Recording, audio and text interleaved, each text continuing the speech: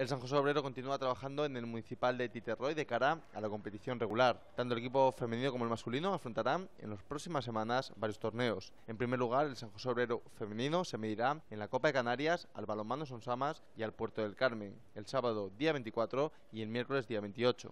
Todos los encuentros de la Copa se disputarán en Titerroy, al igual que los del cuadro masculino, donde el Gourmet Ampate Lanzarote se medirá al balonmano Tejina y al balonmano Ingenio. Precisamente estos tres equipos masculinos se enfrentarán los días 6, 7 y 8 de septiembre en el pabellón de Arrecife en la celebración del torneo de San Ginés.